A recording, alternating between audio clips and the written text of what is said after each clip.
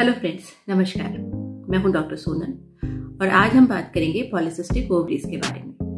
Polycystic ovaries जैसा कि नाम से पता चलता है, एक ऐसी कंडीशन होती है जिसमें कि ओवरीज में छोटे छोटे सिस्ट हो जाते हैं और सिस्ट होने की वजह से ओवरीज का साइज़ नॉर्मल से काफ़ी ज़्यादा बढ़ जाता है। पॉलिसिस्टिक ओवरीज करीबन 20 से 25 परसेंट महिलाओं में होता है और यह यंग एज की महिलाएँ जो कि 15 से लेकर 25 या 35 साल की उम्र में आती हैं, उनमें ज़्यादा देखा है क्योंकि एक लंबी चलने वाली परेशानी है और इसके साथ बहुत सारे मेटाबॉलिक डिसऑर्डर्स या शरीर में चलने वाले हार्मोनल बदलाव जुड़े हुए होते हैं।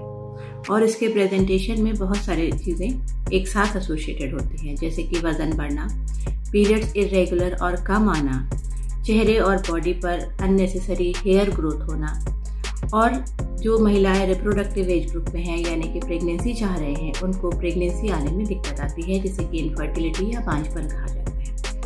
तो आइए जानते हैं पॉलिसिस्टिक ओवरीज से जुड़े हुए ऐसी पाँच बातें, जो कि आपको पता होना बहुत ज़्यादा ज़रूरी है।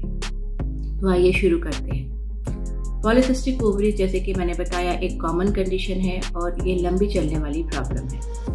और चूँकि इसके साथ पीरियड्स और बॉडी वेट से जुड़ी परेशानियाँ देखी जाती हैं तो चिंता होना स्वाभाविक है। तो ऐसी कंडीशन में पॉलिसिस्टिक ओवरीज जिन महिलाओं को है या जिन यंग गर्ल्स को है उन्हें किन बातों का ध्यान रखना चाहिए? सबसे पहली बात कि पॉलिसिस्टिक ओवरीज के साथ वज़न बढ़ने की प्रॉब्लम आमतौर पर देखी जाती है। तकरीबन 40 परसेंट महिलाएँ जो कि पॉलिसिस्टिक ओवरीज से परेशान होती हैं, उनका वज़न ज़्यादा हो सकता है। तो ऐसी कंडीशन में अगर पॉलिसिस्टिक ओवरीज की वजह से वज़न ज़्यादा है तो उसे महिलाएँ इफेक्टिवली अपने डाइट और एक्सरसाइज द्वारा कंट्रोल कर सकती हैं। यानी कि अगर आपको पॉलिसिस्टिक ओवरीज है तो ज़रूरी नहीं है कि जब तक आपकी पॉलिसिस्टिक ओवरीज की प्रॉब्लम ठीक ना हो, वज़न बढ़ने की प्रॉब्लम ठीक ना हो। अगर वज़न ज़्यादा है तो कोई भी वजह हो वज़न ज़्यादा होने की, अगर आप डाइट और एक्सरसाइज को रेगुलर फॉलो करती रहेंगे तो आप वज़न को कंट्रोल कर सकते हैं। बहुत बार महिलाएँ ये एक्सक्यूज़ देती हैं कि उनका वज़न बढ़ने की वजह पॉलिसिस्टिक ओवरी है, इसकी वजह से वज़न कम नहीं हो सकता। लेकिन ऐसा नहीं है। पॉलिसिस्टिक ओवरी होने के बावजूद अगर आप अपने एक्सरसाइज और डाइट पर पूरा ध्यान देते हैं तो आप अपने वज़न को कंट्रोल रख सकते हैं। दूसरी बात यंग गर्ल्स जिनके पीरियड्स इरेगुलर आ रहे हैं, ज़्यादा दिनों में आ रहे हैं, पॉलिसिस्टिक ओवरी की वजह से, उन्हें हर बार पीरियड्स लाने के लिए दवाइयाँ लेने की आवश्यकता नहीं होती है। यंग गर्ल्स जो कि अभी सेक्सुअली एक्टिव नहीं है 15 से लेके 25 साल की उम्र में हैं, और पीरियड्स उन्हें इरेगुलर आ रहे हैं तो बहुत बार वे पीरियड्स को रेगुलर रखने के लिए दवाइयाँ लेना पसंद करती है, जो कि बहुत ज़्यादा ज़रूरी नहीं है। पीरियड्स इरेगुलर आ रहे हैं और आप अपने हेल्थ का पूरा ध्यान दे रहे हैं तो पीरियड्स को लाने के लिए दवाइयाँ लेने की आवश्यकता नहीं है, क्योंकि पीरियड्स लाने के लिए जो दवाइयाँ दी जाती हैं वो हॉर्मोन्स होते हैं और उनके थोड़े बहुत साइड इफ़ेक्ट शरीर पर होते हैं। तो अगर पीरियड्स इरेगुलर आ रहे हैं, ज़्यादा दिनों में आ रहे हैं, लेकिन कोई और प्रॉब्लम उसके साथ एसोसिएटेड नहीं है तो आपको पीरियड्स लाने के लिए दवा लेने की आवश्यकता नहीं है। और जैसा कि मैंने पहले पॉइंट में बताया कि अगर आप अपने वज़न को कंट्रोल रखेंगे तो पीरियड्स आने की समस्या को आप काफ़ी हद तक रेगुलराइज कर पाएँगे। तीसरा यंग गर्ल्स जो कि पॉलिसिस्टिक ओवरी से परेशान हैं उनको और कोई दिक्कत नहीं है तो उन्हें पॉलिसिस्टिक ओवरीज को ठीक करने के लिए दवाइयाँ लेने की ज़रूरत नहीं है। पॉलिसिस्टिक ओवरीज में लाइफस्टाइल मैनेजमेंट यानी कि वेट और डाइट का कंट्रोल बहुत ज़्यादा कारगर उपाय है और सिर्फ़ पीरियड्स रेगुलर लाने के लिए दवाइयाँ लेने की आवश्यकता नहीं है। तो पॉलिसिस्टिक ओवरीज एक लाइफस्टाइल डिज़ीज़ है, लंबी चलने वाली परेशानी है।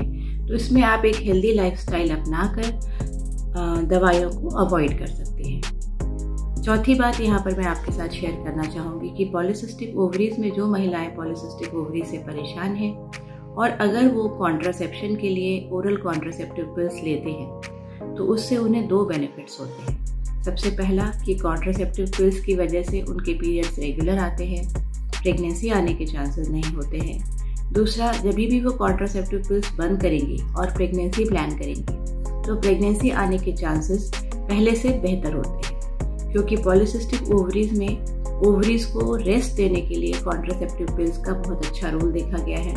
और जब भी कॉन्ट्रासेप्टिव पिल्स बंद किए जाते हैं तो प्रेगनेंसी आने के चांसेस पहले के मुकाबले बहुत ज़्यादा बेहतर होते हैं।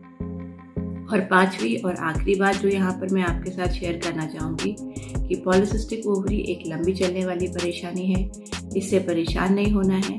अपने लाइफस्टाइल को बहुत अच्छे से मैनेज करना है। और अगर आप अपने वज़न का ध्यान रखेंगे तो पॉलिसिस्टिक ओवरी से होने वाली परेशानी जैसे कि शरीर पर होने वाले एक्सेस हेयर ग्रोथ को आप कंट्रोल कर सकते हैं।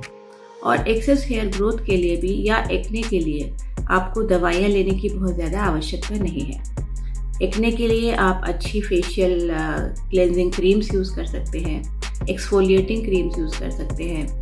और लोकल ट्रीटमेंट यूज़ कर सकते हैं, बजाय कि आप खाने वाली दवाइयाँ खाएँ।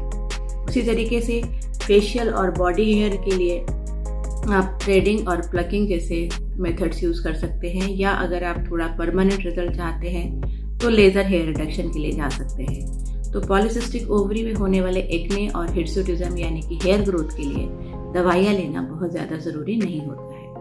तो इन पाँच बातों का ध्यान रखकर पॉलिसिस्टिक ओवरी, जो कि एक लंबी चलने वाली प्रॉब्लम है, इसके साथ थोड़े हार्मोनल डिसऑर्डर्स जुड़े होते हैं। पर इसके लिए दवाइयाँ लेना बहुत ज़्यादा आवश्यकता नहीं है। तो पॉलिसिस्टिक ओवरी से घबराए नहीं, जागरूक रहें, अपनी सेहत का पूरा ध्यान रखें और स्वस्थ रहें। धन्यवाद।